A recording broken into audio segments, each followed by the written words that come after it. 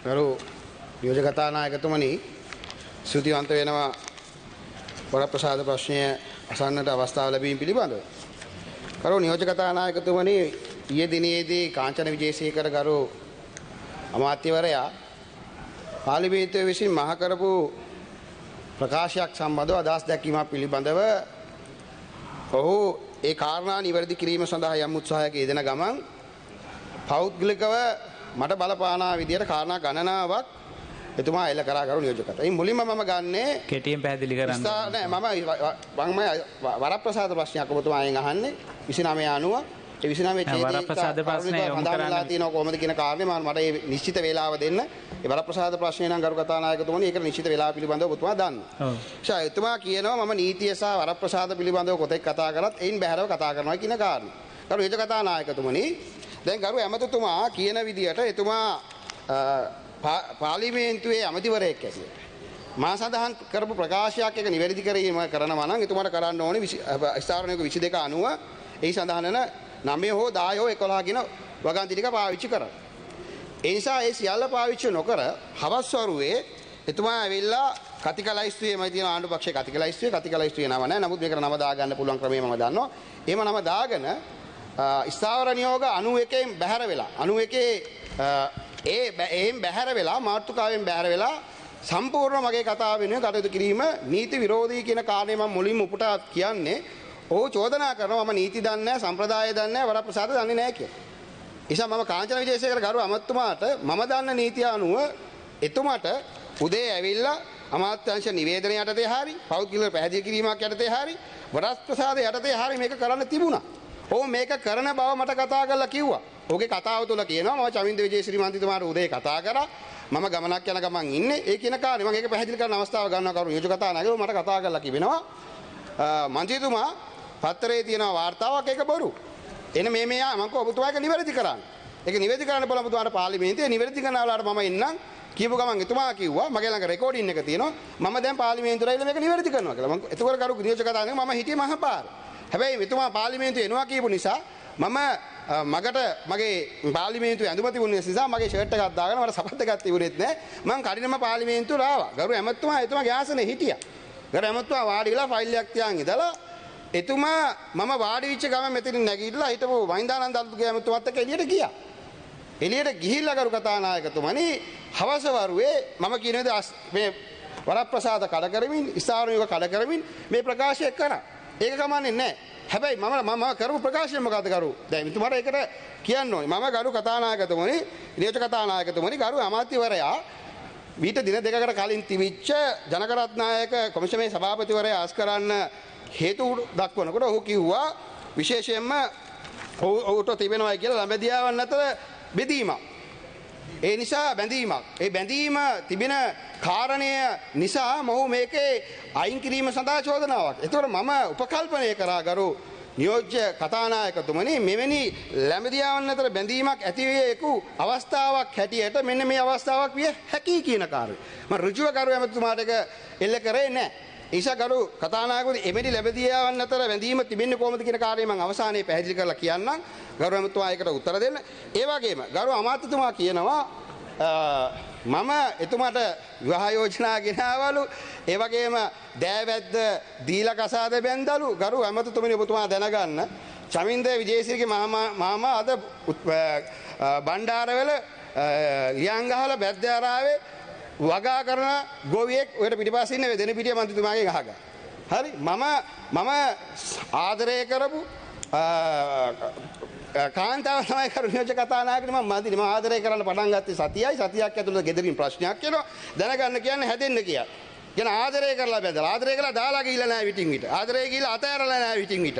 එහෙම එහෙම යන්න දුන්නේ නැහැ. මම සතියක් ආදරය කරපු ඒ ආදරවන්තිය තමයි කරු ඇමතිතුමනි මම කසාද බදාගෙන විටින් විට දවසෙන් දවස අ, ආශ්‍රය කරලා අතෑරලා එහෙම සම්ප්‍රදායෙන් තියෙන අ, ජඩ කුපාඩි වැඩ කරපු අ, පුද්ගලයෙක් නෙමෙයි කරු කතානායකතුමා මගේ තාත්තලා විරසක වුණා මම පාර්ලිමේන්තුවේ මන්ත්‍රීවරයෙක් වුණාට පස්සේ හේතුව ඒ ඒ මම කියන්න ඕනේ මගේ කතාව. මට සතුටුයි මේක කියන්න ලැබීම පිළිබඳ. මම දන්නවනේ කවුරු කවුරු ගැනත් කියන්න පුළුවන් නම් බොහෝ දේවල් තියෙනවා. ඒ මම කියන්නේ යන්නේ නැහැ මේ මං ගැන කියන්නේ. මම මගේ විවාහ විවස ගන්න මම ආදරය කරපු ඒකාන්තා. මගේ ගෙදරින් මට විරුද්ධ වුණා. මේක එපා කිව්වා මම බැන්ද හිතුවක්කාර විදියට. මම ගිහිල්ලා වෙනත් කියලා මම කසාද බැන්ද. ඒ ඇයි? ඒ ඇයි ඒ දරුවා අතහැරලා අයින් වුණා නම් අද අද සමාජයේ කොංග නිසා කරු යෝජක කතානායක නිසා ඔබතුමාත් එක්ක මම සමාන වෙන්න යන්නේ නැහැ. එහෙම සමාන වෙන්නත් බෑ. ඒ සමාන කරගන්නත් හදන්න එපා කරුණොත්තා ඔබතුමයි මමයි ආසයි පොළොවේ වගේ. මට බොහෝ දේවල් කියන්න නෑ පෞද්ගලිකව ඒ ජීවිතවලට මට ගහන්න මං එන්නේ නැහැ. හැබැයි අපිට මට ගහන්න આવොත් කියන්න බැරිත් නෑ. කියන්න බැරිත් නෑ මතක තියාගන්න කරුව ඇමතුමා. නිසා ඔබතුමාලා කරපු දේවල් කියපු දේවල් මොනවාද කියලා සුජීව සේරසිංහ ඇමතුමා දාපු නඩුවේ ඉඳලා ওই නම් අපිට ඉතිහාසෙත් එක කියන්න පුළුවන්. එතනට යන්නේ නෑ කරු මිනිස්සු කතානායකතුමා මෙතුමා කියපු කාරණාවලට උත්තර දෙන්න. ඊළඟට කරු නියෝජ්‍ය කතානායකතුමනි දැන් දැන් අපි මෙතුමා කියන කාර්ය යන විශේෂයෙන් තවත් කඩකාමර ගැන කියන්න යම් උත්සාහ කළ තොරතුරු. මා සතුව තියෙනවා කරු මෙතුමා. තොරතුරු ටික කියන්නේ. නිසා ඔබතුමාට යම් තොරතුරක් දෙනවා නම් ඒ තොරතුරු ලබා ගන්න පුද්ගලයන් පිළිබඳවත් මට කියන්න පුළුවන්. මම පාර්ලිමේන්තුවේ ඇවිල්ලා පළාත් සභාවට ගිහිල්ලා හොටෙල් ගහගත්ත මිනිහෙක් නෙමෙයි. මට ව්‍යාජ බැංකු නෑ හොර බැංකු නෑ කරුවේ මුතුමනි ඔබතුමාට පුළුවන් නම් ඔප්පු කරලා පෙන්නන්න චමින්ද විජේසිරිට ව්‍යාජ හොරව මොනවා දෙයක් තියෙනවා කියනවා නම් අපි දේශපාලනයෙන් සම්බ ගන්න සූදානම්. එහෙම එහෙම කළු පැල්ලමක් අපි සතුව නෑ ගරු ගරු උලසරේ කතාන නියෝජ්‍ය කතානායකතු ඒ වගේම මම කියන්නම් මට ලැබිච්ච තොරතුර ගරු නියෝජ කතානායකතුමනි. මේ තියෙන මාසතුව ලුබිලිගන් මාගට්ටක. මේ කියන්නේ දෙදස් විසි දෙකේ මහජන උපයා කොමිෂමේ. කොමිෂම විසින් මේ ශ්‍රී ලංකාව තුළ ලුබිල්ගන් මාගට් එක මේ ග්‍රීස් හා ඔයිල් ආයෝජනය කරමින් අලවි කරන ඒ ඒ පුද්ගලයන් පිළිබඳව මහජන උපයෝගතා කොමිෂම විසින් ඉදිරිපත් කරන ලේඛනේ. මේකේ තියෙනවා ගරු නියෝජ්‍ය කතානායක තුමනි ගරු මන්ත්‍රීතුමා කෙටියෙන් ගැන ඔබතුමාත් දීපු කාලය අවසන් වෙලා තියෙනවා. ලැබිකන් කියන සමාගමක් මේ මේ සම්බන්ධ කටයුතු කරනවා කියලා. අපි බැලුවා මේ ඉන්ටර්නැෂනල් ලිබරල් කියන සමාගමේ සම්බන්ධ කටයුතු කරන්නේ කවුද කියලා. ගරු ඇමතුමා ඔබ තියනවා කියනවා වගේ සිංගප්පූරේ ලියා ලියාපදිංචි වෙලා තියෙන සයිනොෆැක් කියන ආයතනය මේක තියෙනවා. එතකොට අපි ලිබ්ලික ඉන්ටර්නැෂනල් ලිබ්ලිකන් කියන ආයතනයේ වෙබ්සයිට් එකට ගිහිල්ලා එයාලා කවුද කියලා හොයලා බලනකොට මෙන්න මේ කියන කාරණේ තියෙනවා කරු නියෝජක කතානායක. කවුද මේ? IOI, IOI is a uh, bio-registered company and the filling honored uh, subsidy of the uh, McLaren group of company. එතු ගරු ගරු නියෝජක කතානායකද මේ මොකද්ද වෙන්නේ? මේ මේක තමයි හොයාගන්න ඕනේ. මෙතුමලා නීත්‍යානුකූලව uh, uh, චීන සමාගමත් එක්ක සම්බන්ධ වෙනවා ඒක සිංගප්පූරුව සමාගමත් එක්ක සම්බන්ධ වෙනවා ඊට පස්සේ දේශීය සමාගමත් එක්ක හැබැයි දේශීය සමාගම තමයි රුපියල් කරන්නේ චීනයේ විකුණන චීනයේ හදන නිෂ්පාදනය කරන භාණ්ඩ සියල්ල එන මේ නීත්‍යානුකූල රටාව අනුව තමුන්නාසලා මිලදී ගැනීම සහ ටෙන්ඩර් ප්‍රතිපාටිය කරනවා නියෝජ්‍ය කතානක. මේ සියලු දේවල් අලෙවි කරන්නේ කවුද? රුපියල් බවට පත් කරලා. මොකද රුපියල් ඕනි වෙන්නේ අපේ ලාංකිකයන්ට. රුපියල් ඕනි වෙන්නේ ලාංකික ව්‍යාපාරිකයන්. ලුපියල් ඕනේ ලාංකික කොමිස්කාරයන්. ඒ නිසා තමයි මට සැකයක් මතු වුණේ අර අර වගේ බැඳියාවක් ඇති වෙන්න පුළුවන්කමක් තිබේද අනාගතය තුල මට වෙන කාරණයක් තියවිදුනේ නෑ කරු එමතුනි. මම ඒ උපකල්පනයේ ගත්ත චෝදනා වානුව සමුන්නාංශගේ හිත නම් ඒ පිළිබඳව මම කනගාටුව ප්‍රකාශ කරන්න හදන නිසා ඔබතුමා විශේෂයෙන් මම කියන්න ඕනි ගරු නියෝජ්‍ය කතානායකතුමනි මම තාත්තා කරපු දේ කරා. මගේ තාත්තත් ඔය වගේ හොඳ දේවල් කරලා නිවැරදි දේවල් කරලා ව්‍යාපාරිකයෙක් කරලාද ප්‍රසිද්ධනක ඉන්නවා. ඒ නිසා මම ඒ තාත්තා කරපු දේ කරපු පුතෙක් හැටියට මම සතුටු වෙනවා. හැබැයි සමහරුන්ට පුළුවන්ද තාත්තා කරපු දේවල් නොකරනවා කියලා කියන්න කියන කාරණේ මම අභියෝග කරනවා. ඒ නිසා මම කාටවත් මඩ ගහන්න යන්නේ නැහැ. අපේ පෞද්ගල ජීවිතය ඕනේ කාටවත් මඩ ගහන්න අවශ්‍ය නැහැ. මම මේ කියන්නේ. අනිත් එක කරුණු චකතන් තව බරපතල ප්‍රකාශයක් මෙතුමා කරනවා.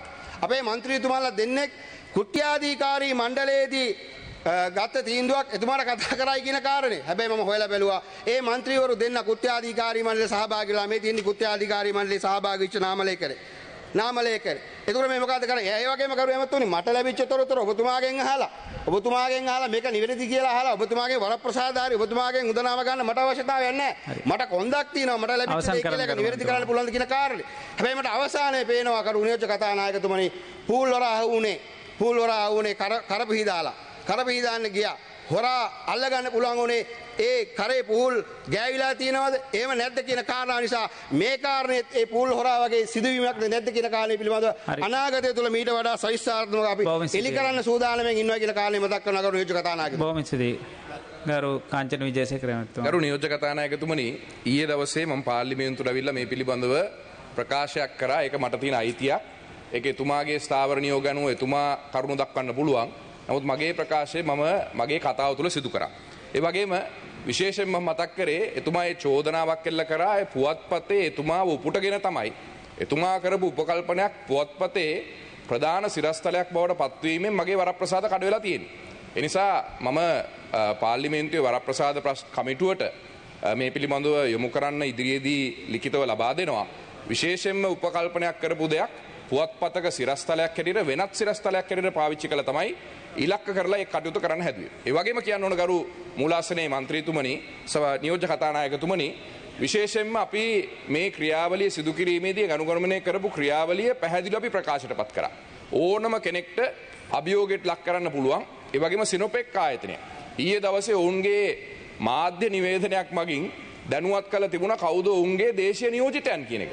ඔවුන් මේ අවුරුදු දහයක් තිස්සේ මේ රටේ ව්‍යාපාරණ කරන ආයතනයක් වෙනත් කිසිම දේශීය නියෝජිතෙක් එක්ක ඔහු ගනුදෙනු කරන්නේ නැහැ කියන එකත්. විශේෂයෙන්ම ඔවුන් අ, සිනෝපෙක් චීන සමාගම සිනෝපෙක් සිංගප්පූරු සමාගම සිනෝපෙක් ලංකා සමාගම. මේ කියන සමාගම් තුන අතරේ පමණයි ඔවුන්ගේ ගිවිසුම් ගතවීම අනුව කටයුතු කරන්න කියන. නිසා මෙතන පාර්ලිමේන්තුවේ වරප්‍රසාද පාවිච්චි කරලා උපකල්පනය කරමින් යම් යම් දේවල් චෝදනා එල්ල කරන්න පුළුවන් නම් ගරු නියෝජ්‍ය කතානායකතුමනි ඒකෙන් මේ පාර්ලිමේන්තුවේ සියලු දෙනාගේ වරප්‍රසාද උල්ලංඝනය වෙනවා.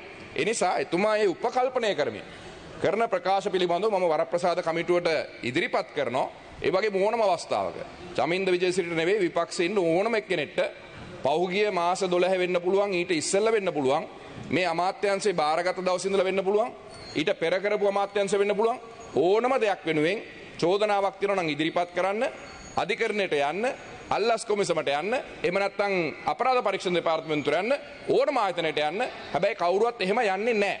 ඒක තමයි තියෙන ප්‍රශ්නේ.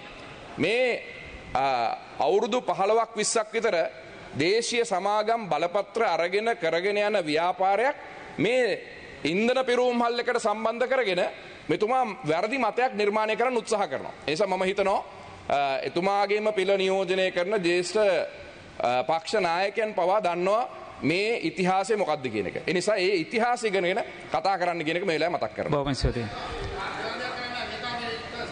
ඔබතුමාට එතුමා මොන චමදිසි විජේසිරි මහත්මයා. වරප්‍රසාද කමිටුවට ගේන එක මේක මම බය නැහැ. හැබැයි මම ඔබතුමාට පැහැදිලි කරනවා දැන් മന്ത്രിවරයෙක්ගේ කතා කිරීම සඳහා වරප්‍රසාද මේ මේ ස්ථාන නියෝග 91 තියෙනවා. මේ 91 කොහේ හෝ මම උල්ලංඝනය කරලා තියෙන්න ඕනේ. ඒ උල්ලංඝනය කිරීම හරහා මාව එතනට යනවා නම් මම ඒක අනසු. හැබැයි කරු නියෝජක කරලා තියෙන බරපතල කාරණේ දැන් මේ වරප්‍රසාද කමිටුව බටලන්ද වෙලා තියෙනවා. අධිකරණයේ කවුරු හරි කතා කරොත් ගේනවා. මාධ්‍ය කවුරු හරි කතා කරොත් ගේනවා. මාධ්‍ය වාර්තා කළා කියන්නේ චමින්ද විජේසිරි කියපු දේ හරි, බොහොම වෙනත් ස්තුති ආකාරයි. කරුවන්තෝ, ඒ ඔබතුමා හිතන විදිය බටලන්තක් කරන්න එපා මේ වරප්‍රසාද කමිටුව ඊට වඩා කමිටුව වැදගත් විදිහට ක්‍රියාත්මක වෙන ජනතාවට නෙවෙයි. බොහොම. ස්තුතියි ඔබතුමාට කාලය ලබා දුන්න බොහොම ස්තුතියි. ගරු වසන්ත යාපා මන්තුමා ගරු නියෝජ්‍ය කතා